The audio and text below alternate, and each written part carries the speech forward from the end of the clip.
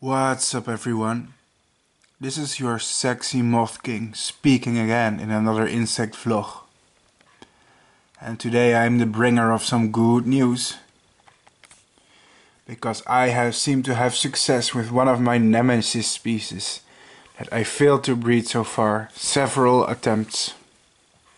But this time is different, the caterpillars are growing really well now you're probably wondering what species is it that he's talking about, or maybe you've already seen it from the title and the caterpillars, but uh, these guys here are called the Clifden nonpareil.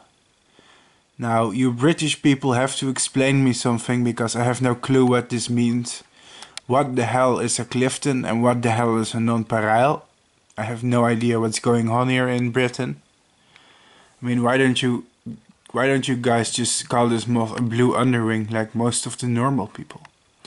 Anyways, these blue underwings, aka Clifden nonpareils, oh my god, these are one of the most beautiful moths in my opinion that you can find in Europe. I've always loved underwing moths. Uh, Catocala is a huge, huge genus, and it, you know, uh, there's over, I think there's over 250 species of underwing moths just in the genus Catocala, not even counting the other genera. And that's so interesting.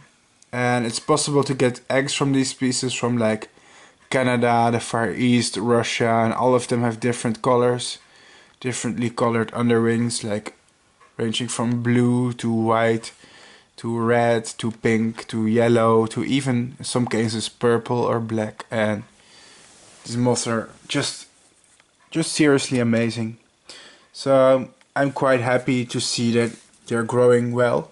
Now, my my secret to success were two things. Number one, I started using Populus as their food plant instead of trying uh, other plants that they feed on. Um, the blue under, uh, sorry, the Clifden nonpareil. They feed on a lot of plants, even things like ash tree or I believe cherry and willow. But the thing is, they don't really like it. You'll have high mortality on these other plants.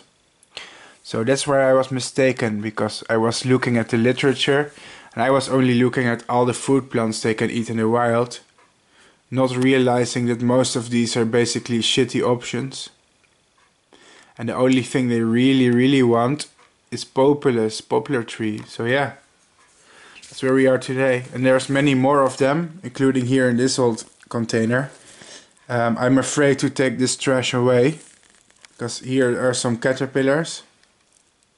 And some of the caterpillars are hiding here in the old leaf. So I don't want to throw it away. Because their camouflage is really good. And I'm afraid of throwing away some of my caterpillars by accident. Okay. Get this back in here.